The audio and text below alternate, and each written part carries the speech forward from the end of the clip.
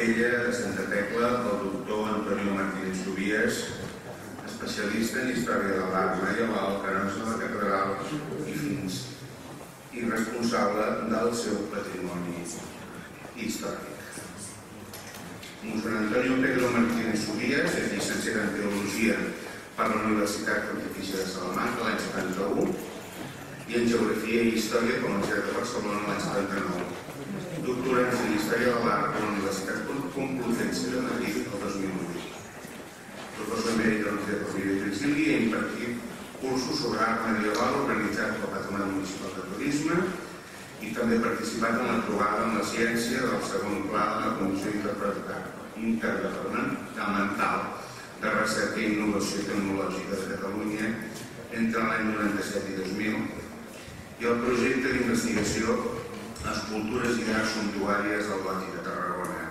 Té publicada la seva tesi de llicenciatura sobre la plateria gòtica de Tarragona i província o la custòdia modernista del de Tarragona l'any 95 i els tres volums de la seva tesi doctoral La plateria de Reus de Sorreal Col·legi, el patrimoni històric artístic de l'Església, vehicle privilegiat a la nova evangelització o la catedral de Tarragona.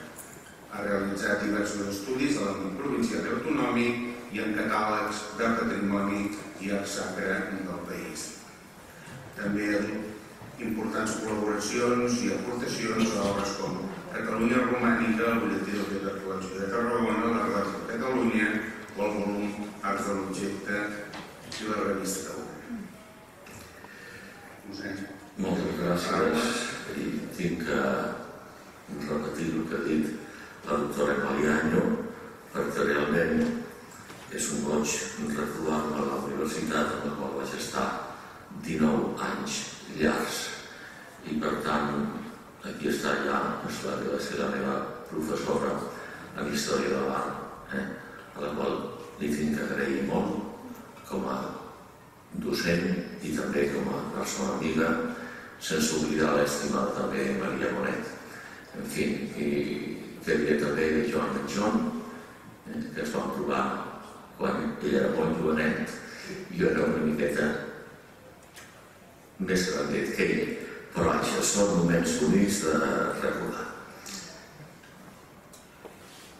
En primer lloc, com correspon, eh, donar les gràcies a les persones eh, responsables davant de l'Ajuntament i davant de la Rovira Vigili que va donar aquesta oportunitat de presentar la capella de Santa Tecla que la majoria de vostès ja han entrat. I, més d'agrair-los-hi, també advertir que fem un salt cronològic, artístic, qualitatiu. Deixem tot el món que ens ha desposat el dijous passat i aquest de forma extraordinària les dues ponents anteriors i ens anem ara al món de meitat del segle XVIII. La capella de Santa Tecla o l'acceptació de les virtuts. La catedral de Tarragona dedicada a Santa Tecla no és tan sols el primer temple de la ciutat, sinó també l'edifici més emblemàtic, artística i històricament junt a les restes de la Tarraca romana. A més, aquest lloc de culte té la peculiaritat d'oferir als estudiosos de l'art tot un reguitxell d'estils i testimonis artístics que inclouen des del món romà fins al barroc classicista, com és el cas de l'assumpte que s'ocupa, la capella de Santa Tecla. La meva intervenció abasta dues vessants derivades del conjunt de la seva fàbrica i ornamentació. La gènesi històrica de la seva construcció, dissenyada i dirigida per l'arquitecte Josep Prat i de l'Horta, i el programa iconogràfic de ornamentació escultòrica duta a Filisterna per un escultor d'excel·lència acadèmica i també professional, Carles Sales i Vilaseca. Vaig, per tant, a la primera de les parts de la ponència, la gènesi històrica de la seva construcció. En primer lloc, els promotors de, de la capella, tots sabem que de Vilantuvi Santa Tecla rebia culte a l'absidiola del braç nord-oriental del transsepte on actualment es venera la imatge de Sant Oleguer. Fou Manuel de Samaniego i Jaca qui proposà erigir una suntuosa capella en honor de la protomàrtir d'Iconi, titular de la catedral i també patrona de la nostra ciutat de Tarragona. El desig del prelat fou impossible degut al seu trasllat a Burgos, on dugué allà la devoció a Santa Tecla i per almenys, almenys meva, sempre que he anat a Burgos, eh, quedo acabat de la meravellosa capella de Santa Tecla eh, que va dur a terme aquest Manuel de Samaniego i Jaca. Bé, haurien de transcorrer eh, 25 anys perquè el desig de l'esmentat arquebisbe el dugué a terme el relat Jaume Cortada i Bru.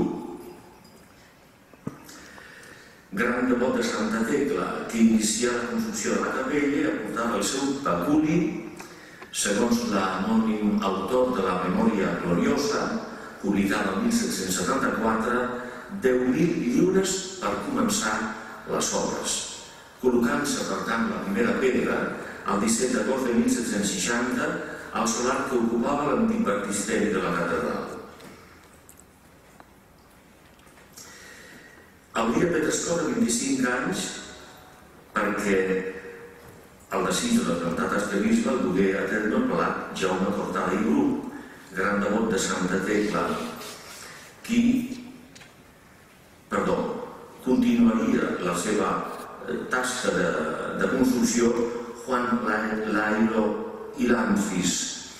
Des de 1760 a 1762, la construcció avançà a bon ritme fins a assolir la cornisa del cros principal que el tenim aquí a imatge.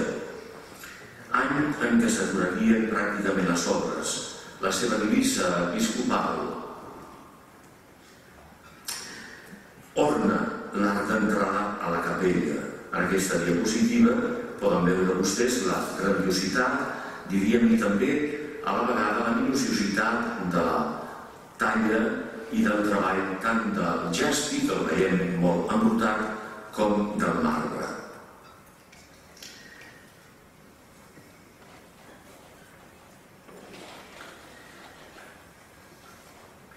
L'arquitecte de la capella fou Josep Prat i de l'Horta, nascut a Barcelona el 1726.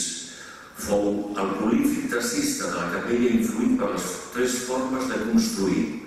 La renial, entesa com a barroca i apresa al costat del seu pare, Pere Màrtir, que va pertànyer al gremi de mestres i cases d'emblers de Barcelona.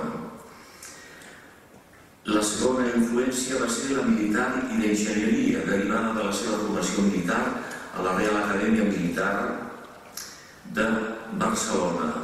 I la tercera influència va ser l'acadèmica, influïda pel classicisme francès de Lluís XV, divulgat per la fèrria Escola de Belles Arts de París, però de gran qualitat tècnica apresa a la Real Acadèmia de Belles Arts de San Fernando instal·lat com a militar al Camp de Tarragona amb el seu regiment des de 1763 i casat a la nostra ciutat.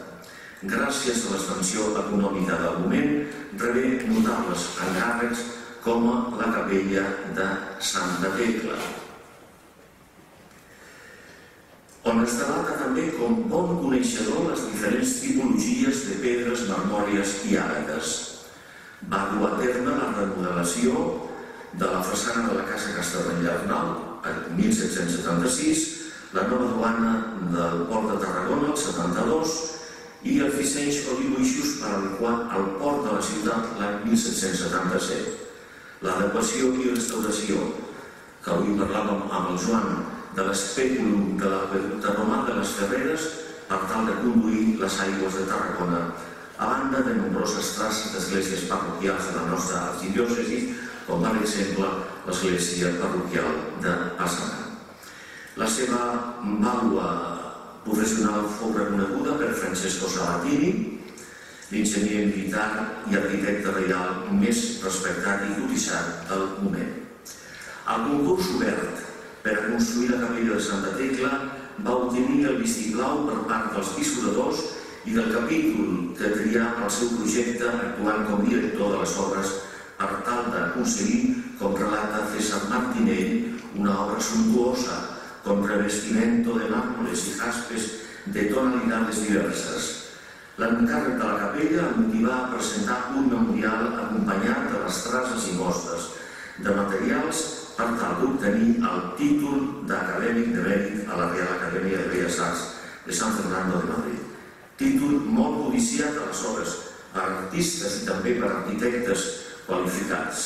Al sol·licitar el 21 de juny de 1771, acompanyat d'una carta laudatòria de Pedro Martín Cermeño i García de Paredes, director de les obres militars, militars a Catalunya, afirmant en aquesta carta laudatòria que su patrocinado es uno de los artífices más meritorios que en su clase tiene el Principado de Catalunya. El desig fou refusat perquè no va obtenir els dos terços exigibles per ingressar. Prat només va obtenir 10 dels vots dels 19. A més, l'acadèmia més pagava els estudis d'arquitectura de la formació aconseguits a través dels gremis regionals on ell va eh, tenir, diríem, les eh, primeres classes pràctiques al costat del seu pare.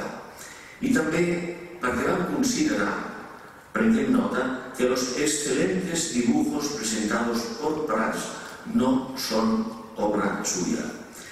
El fet és que els dissenys de Prats es van perdre i posteriorment es van trobar al domicili de don Pedro de Silva, marquès de Vilafranca i president de l'Acadèmia, qui, juntament amb la Junta Qualificadora, validar l'autoria dels dibuixos de Prat atorgant-li el nomenament d'arquitecte acadèmic de mèrit de la Real Acadèmia de Belles Arts de Madrid el 6 de març de 1774. Els clànuls van ser descoberts i, i publicats per la doctora Emma Lian, aquí present l'any 1995, al seu article Amica mea interfilias, la capilla de Santa Tecla en la Catedral de Tarragona. Es troben al Museu de la Real Acadèmia de Belles Arts i es conserven quatre traces autèntiques de prats. Bé, pel que fa a la fàbrica i estructura del recinte, volia anar a la diapositiva pel darrere,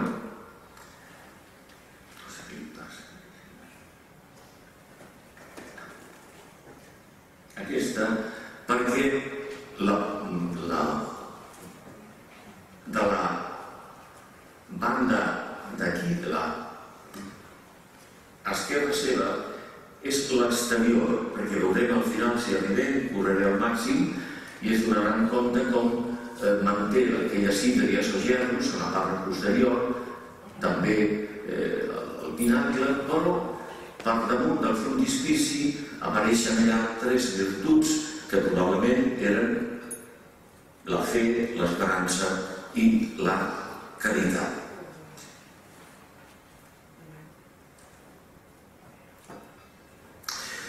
La planta de l'església es configura estructuralment com un àmbit en forma de creu grega, pavimentada amb pedra de lliçós, marbre negre de Bèlgica i blanc de Carrara, materials nobles que es generalitzaren a imitació de Bernini i que emulen, en aquest cas, com ara veurem,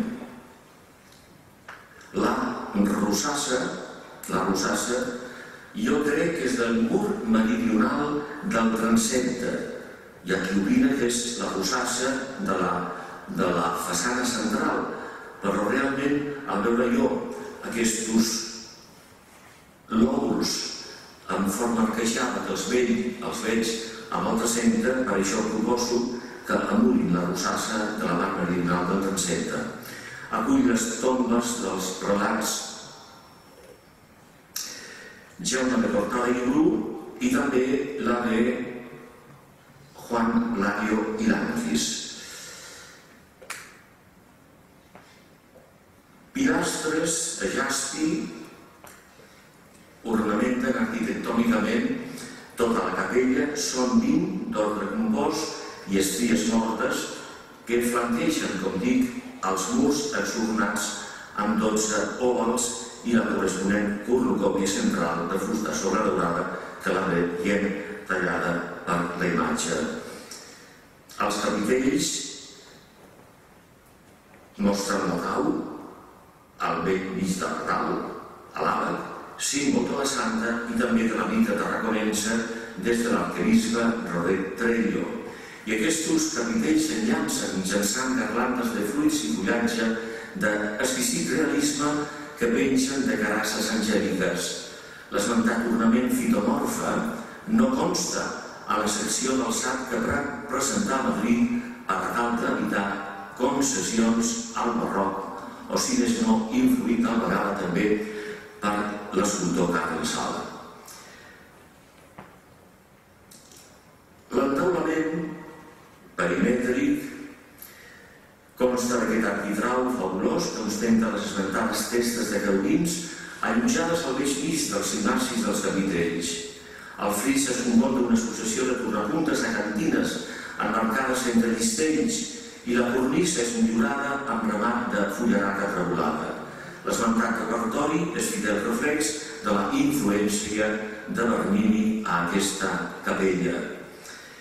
Pel que fa a l'espai cupular, constitueix un notable atractiu tant a l'interior com a l'exterior. A l'interior, els sacs formers o laterals, aixecats sobre els murs, acompleixen, junt amb el parell de torals ubicats sota la cúpula, la doble funció de descàrrega, configurant així l'espai en forma de creu grega. Tots són embellits amb intradors pel doble llistell que marca la sanefa onejant que conforma roleus on s'allotgen floratges en el relleu i que es repeteix en tota la capella i dona, eh, diríem, una qualitat d'unitat i evita ficar eh, repertoris diferents que cauria més en el barroquisme que en el neoclassicisme. El tambor,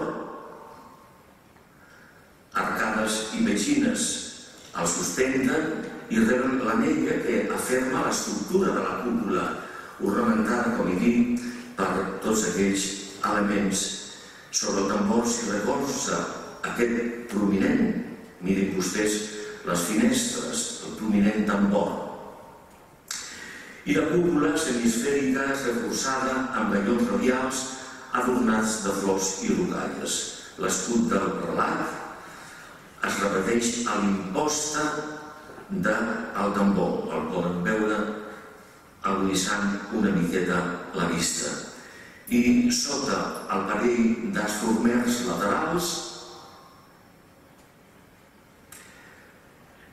apareixen quatre peanyes sense les imatges previstes al projecte que flanquegen unes finestres resoltes amb enganyatalls. Estan les dues eh, mènsules quasi tocant a la cornisa.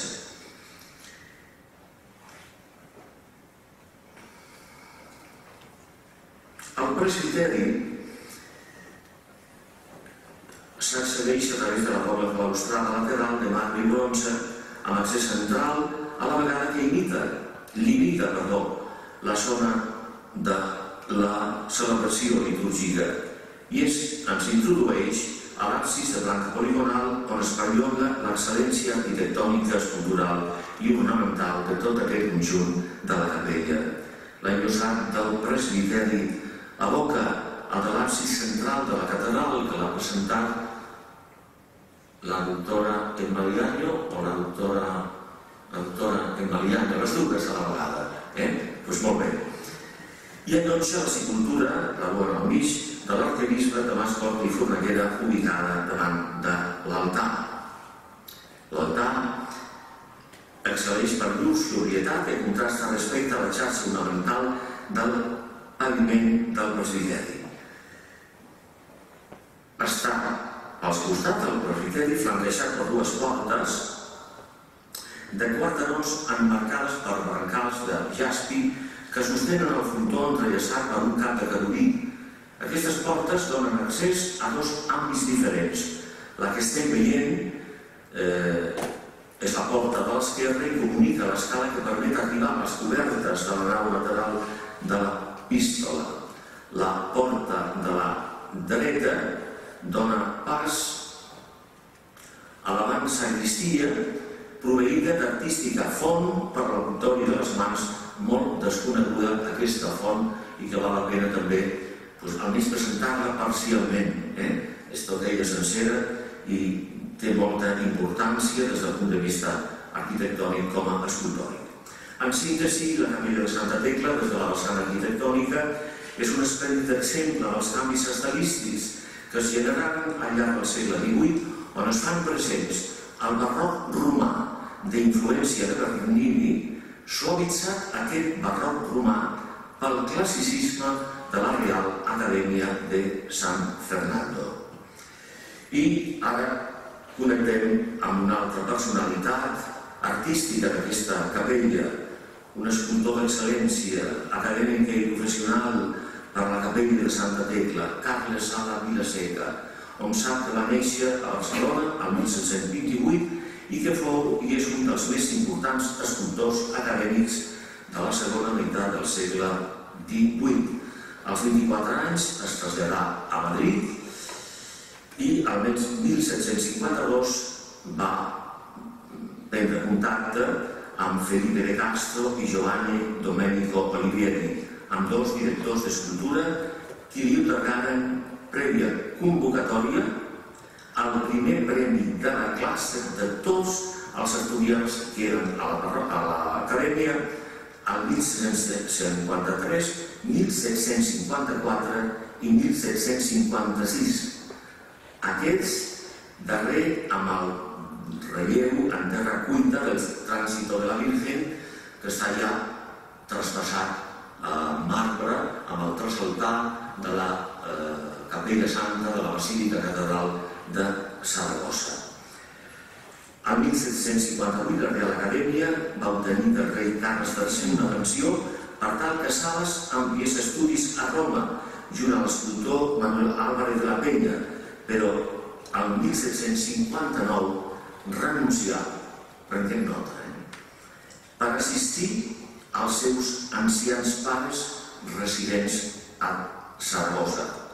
Allà s'establí dedicant-se a la docència escultòrica i atendre, segons Tean Bermúdez, muchas obras públicas y particulares con gran crédito y estimación, servint-se, degut a la seva versatilitat artística, de la terra cuita, la fusta i especialment el marbre. El 12 de gener de 1760 fou nomenat acadèmic de mèrit per l'esmentada institució. La seva activitat professional i estilística es desenvolupà en, tres, en dues etapes que sintetitzo. Etapa de formació acadèmica a Madrid, on el seu estil evolucionà del seu manierisme rococó, suau manierisme rococó europeu al barroc classicista d'influència francesa. I la segona etapa, de 1763, 1780 és l'etapa de plenitud desenvolupada al seu taller de Saragossa, on laborà nou tondos en marbre de Carrara destinats a la Santa Capella de la Catedral Basílica del Pilar. Sense oblidar la, el relleu que indica l'Assumpció de la Mare de Déu en presència dels apòstols al voltant del sepulcre, aquesta obra que s'hi va a Saragossa els que recomano que la vegin perquè està en el trasaltar, perquè aquesta obra de l'Assumpció de la Mare de Déu, junt amb el retaule que tenim aquí a la capella de Santa Tecla, titulat Glorificació de Santa Tecla, són considerades les dues manufactures més excel·lents de Carles Sala dins el conjunt de la seva prolífica obra present a Madrid, Saragossa, Òscar, Tudela, Tarragona i em sembla que també a Reus, on estudiant dos angelets que mm, s'atribueixen a Carlos Sala. Val a dir que l'obra escultòrica de Sala mor massa jove. mort solter als 52 anys, el 30 de març de 1780, rivalitzava a Saragossa amb l'escultor aragonès José Ramírez de Arellano, eh, que també té obra dintre de la Capella Santa. Amb dos Sales i Arellano sufragaven els impostos més cars pel damunt, inclús d'aleshores el jove pintor Francisco de Goya i Lucientes.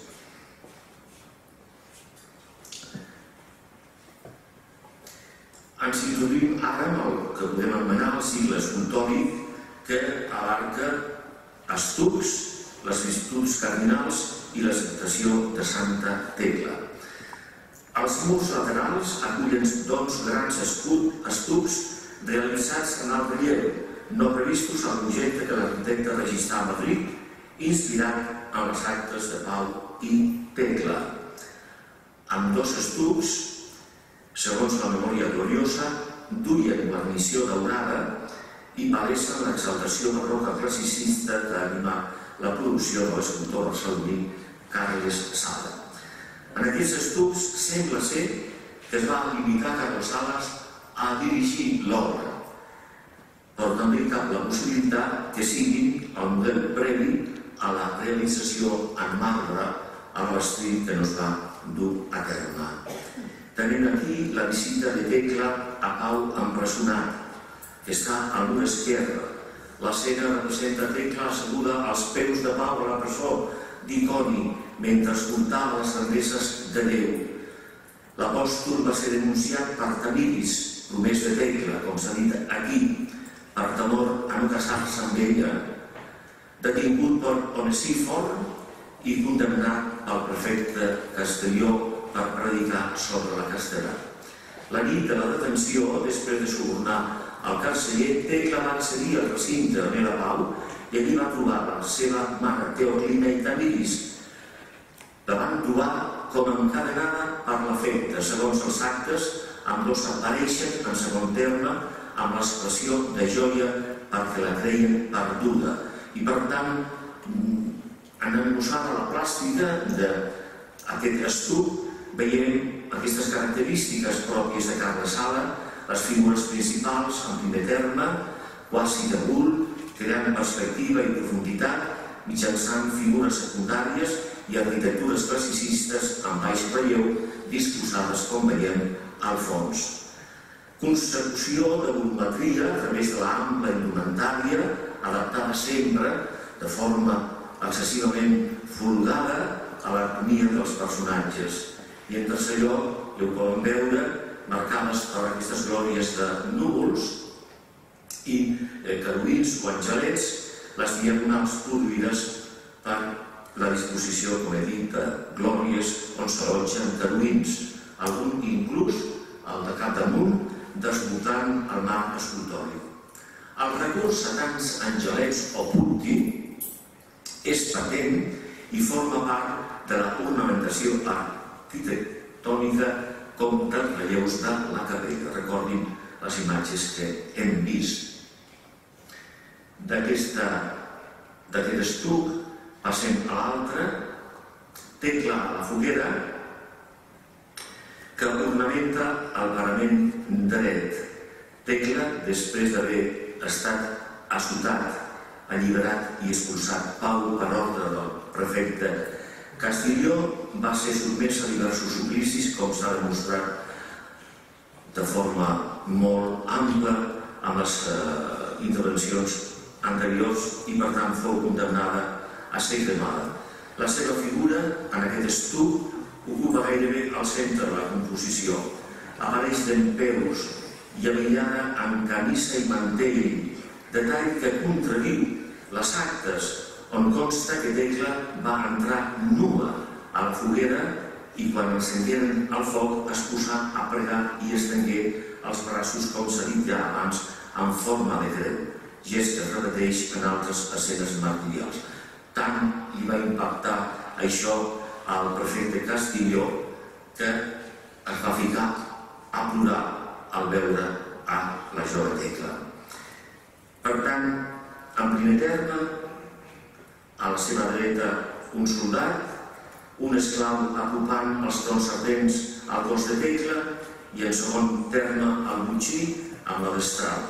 Tanca la composició amb perspectiva la figura del prefecte Castiglió dictant la sentència escoltada per aquells soldats que veient per darrere d'aquella glòria de núvols i darrere també de la vida flamejant. Damunt de l'escut de l'esca, l'escultor ha disposat dues testes angelicals envoltades per una glòria de núvols cimades pel tetracramaton hebreu, és a dir, quatre consonants sense vocals del nom Yahvé o Yehovah, perquè el nom de Déu és impronunciable. Està també al círcul, alegoria de l'eternitat, on s'inscriu el triangle equilàter, símbol de la Santíssima Trinitat. Les característiques que resumeixen aquests dos, eh, aquestes dues, dos estucs poden ser que la composició sinogràfica és molt més barroca i classicista, atabaïda de personatges i seccionada per la línia vertical formada per l'àngel que sosté els atributs martirials ultrapassant el mar. Només la indumentària de la màrtir resulta classicista i similar a la que Carla Sala reprodueix al retaule central de la capella. A Parastós resulta el setial del prefecte, que està al darrere, aviat al romà sota un compost cortinatge de grans i profuns plecs vorejats de serrell a l'estil de Bernini, recurs que l'escultor repetirà a l'esmentat retaule de la glorificació de la Santa. D'aquí ens anem ara ja ràpidament a les virtuts eh, cardinals.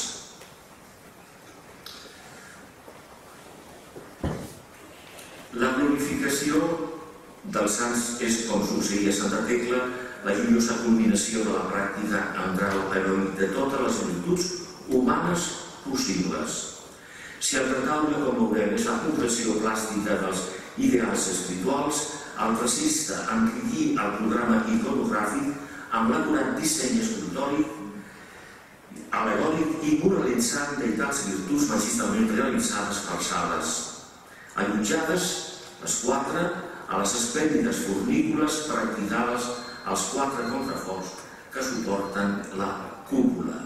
Tenim aquí la virtut de la prudència, que representa acompanyada de diversos atributs.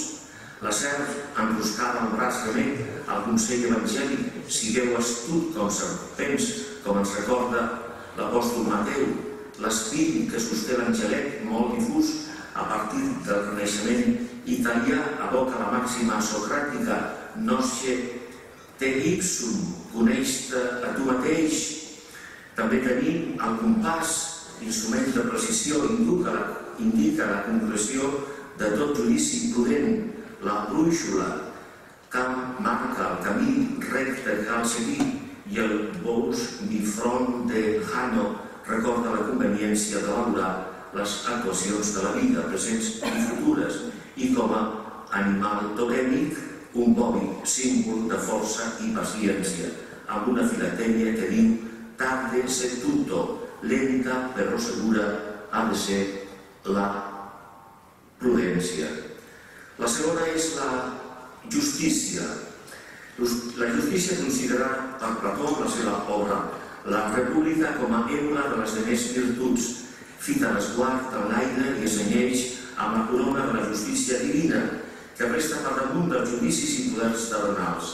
La seva mà esquerra aixeca i sosté la valença grega, equilibrada, malgrat l'absentor de les pedres i la lleugeresa de les flames, símbol fidel de la entitat divina per sopassar la moralitat de les accions humanes. A llurs peus, un gall amb significat ambivalent.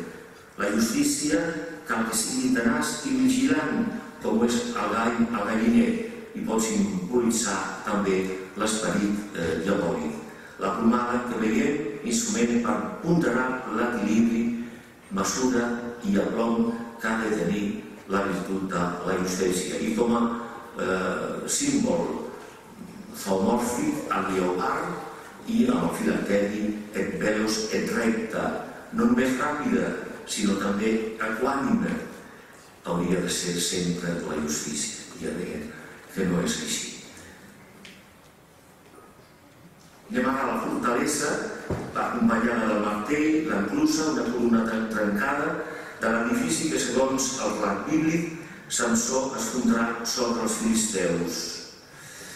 El globus, a manera rudimentària que es feia a mirar, representa la veritat que haurien de traspoar les realitats més superiors i sovint tots ells símbols de la força interior, savies i valentia necessàries a l'ésser humà per a defensar la veritat. El martell, l'enclusa, la columna trencada. El lleó va associat per la seva vigor i contundència. En Nurius Averic Ucursum, diu el Felecteri, no recula davant de ningú. I finalment, la virtut de la tembrança el conforma una altra glòria de núvols i fulgors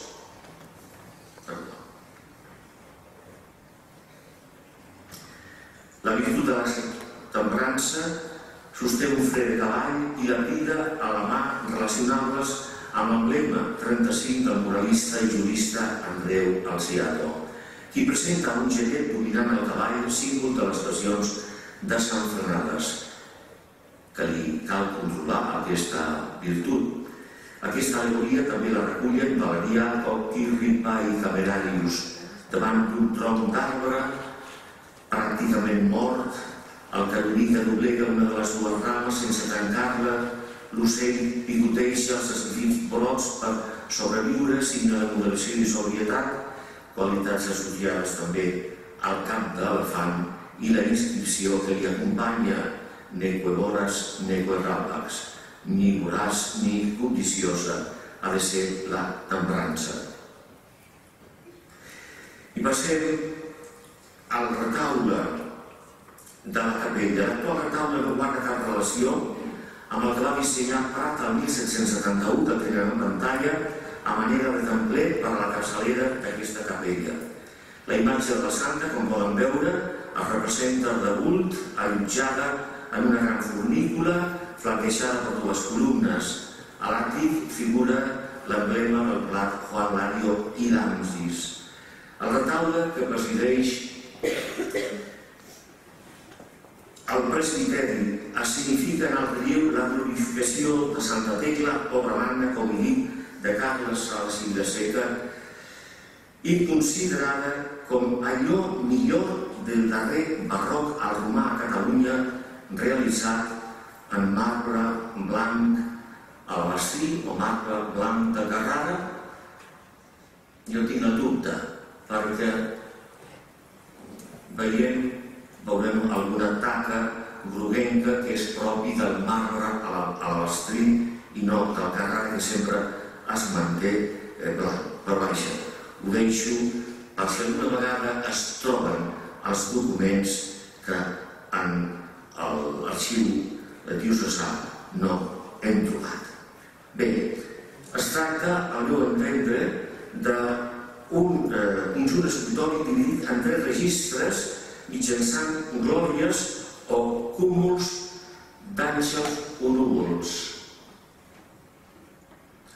El registre inferior enmarcat per núvols i la seva interpretació pot iniciar-se al sòcol del retaule on apareixen els quatre davanters d'un lleó i un os formiguer que franqueixen l'urnes i voltrats asseguts i capgirat vers el Amb dos són el símbol de l'esperança cristiana en la resurrecció. Un dels molts símbols, perquè aquí han sortit uns altres. La urna és d'estructura tronc-piramidal i el front acull la portella de bronze bolinada al llustre on es reprodueix el relleu de Santa Tecla pregant a l'interior d'una cova davant uns joves esturats davant la santa. Dos àngels intenten retirar el sudari enrivetat per la d'Abaït Sabell, mentre un d'ells enlaire i mostra la tau trencada. El serrell guirí, reproduït per Carles Sala, és un recurs ornamental que emula els que Bernini dissenyà per als sepulcres papals de Roma. El segon registre conforma una altra glòria de núvols i fulgors superposada a l'inferior i que serveix de reclinatori a la santa, que s'alilla amb ric i generós vestit cortesà a la francesa, de mànigues llargues, folgades i cenyides per damunt del colze del tipus màniga virado o de plets ganimeters. Tecla dirigeix el seu esguard, esguard esport Tecla dirigeix el seu esguard absort i sever cap al tercer registre.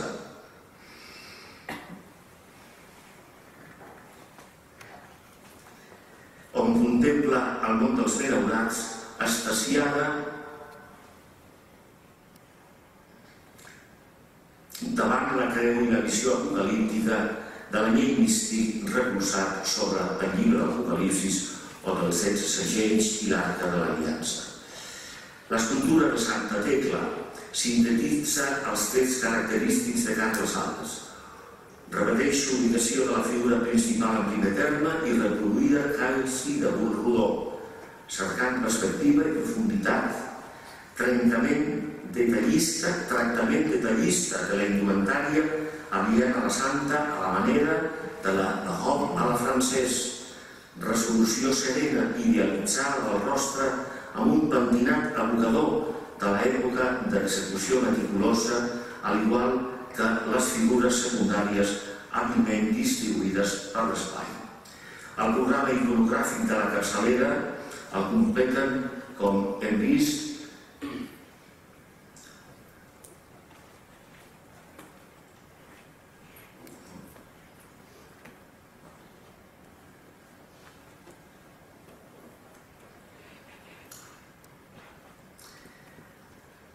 aquest parell de relleus que representen a Sant Basili, bisbe de Seleucia, i a Sant Joan Crisòstom, aliats en capa pluvial i per una garlanda llorejada. En definitiva, no estatima mai Carles Sala el treball minuciós i detallat i sempre amb un segon i tercer eh, pla per aconseguir perspectiva. En síntesi, la capella de Santa Tecla des de les vessants arquitectòniques és un esplèndid exemple dels canvis estilístics que es generaren al llarg del segle XVIII, on es fan presents el barroc romà d'influència de l'Ardini, la gràcia del rococó francès, suavitzat pel classicisme academicista, no observant-se l'abandó de les formes barroques maridades amb propostes classicistes molt del gust de la Real Acadèmia de San Fernando.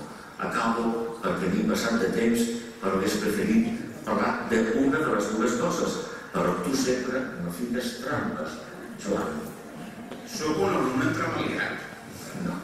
Bé, la capella es tanca amb aquesta reixa de forja del Nofre Camps i a la capçalera és lleugerament corbada, al centre plana, perdó, corbada pel centre i plana pels costats i el frontispici totalment classicista i molt diferent si mirem l'anterior, aquests, aquests marcs florals diferents d'aquelles targes que va dissenyar en un principi l'arquitecte.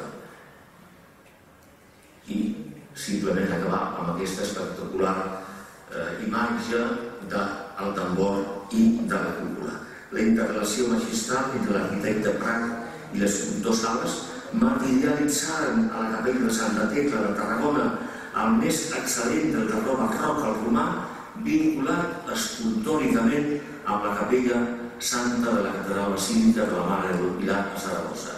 És considerat obra excepcional a la Catalunya de la segona meitat del segle XVIII i que reclama, ens reclama a tots els tarragonins que estem celebrant els 700 anys de la vinguda de la relíquia ens reclama aquesta capella una molt urgent restauració si es pretén que les noves generacions que estan aquí a la universitat i les que vindran han de gaudir d'ella. Moltes gràcies.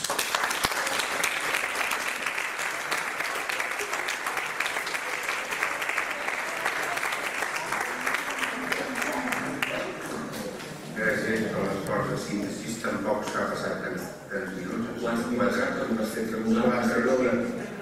Quatre minuts. Minuts. Minuts.